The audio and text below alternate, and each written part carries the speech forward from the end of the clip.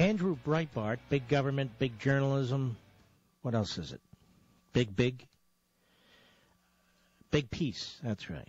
Um, he came into a couple of emails which absolutely eviscerate this disgusting Joe McGinniss and his disgusting phony book attacking Sarah Palin. And if this doesn't put a nail into this nonsense, I don't know what will. And he writes, after a week of universally scathing pans from the reflexively anti-Palin establishment media, McGinniss now faces the fight of his literary life.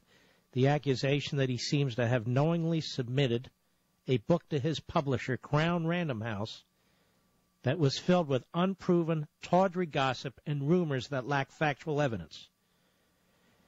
And he publishes the emails, and he says in the email below, sent on January, in January 2011, McGinniss reveals that his manuscript, then under legal review at Crown Random House, could not prove its most headline-grabbing allegations, and yet many of these, quote, salacious stories, unquote, that lack proof, in McGinniss's own words, ended up in the book and on televisions everywhere during the author's current media tour without proper sourcing and without any apparent new evidence to support them.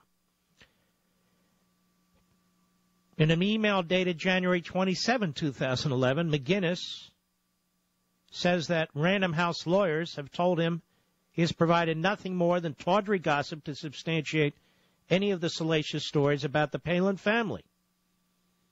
He adds that no one has ever provided factual evidence of a number of the accusations, which I will not uh, go through.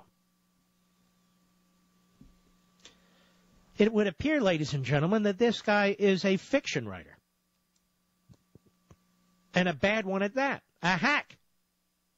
A vicious, vile, hateful little bastard.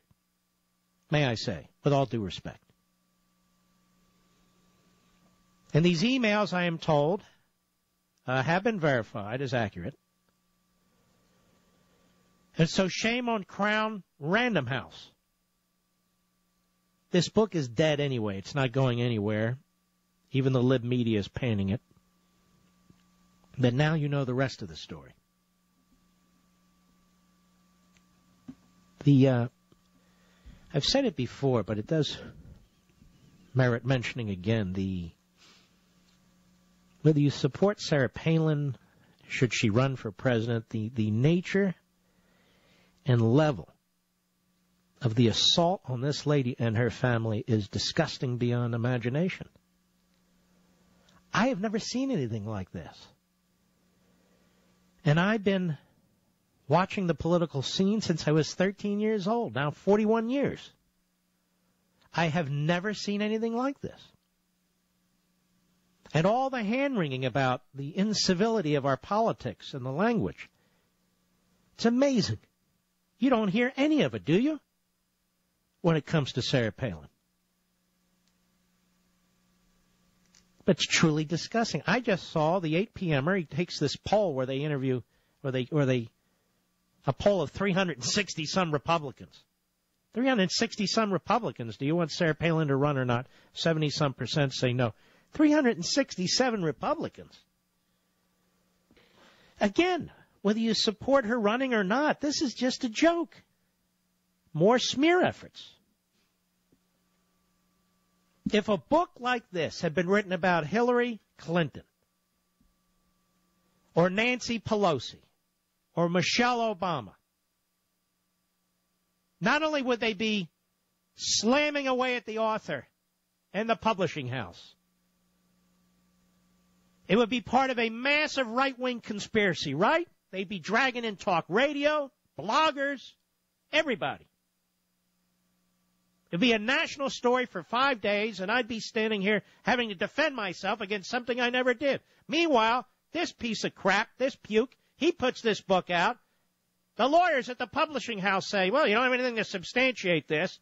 So the editor and obviously the publisher decide to go for it anyway. They don't give it a second thought.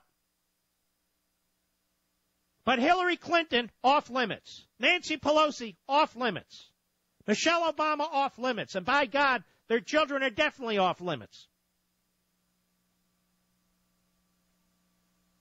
I mean, uh, and we sit here and we take it. Let's go to uh, Jim.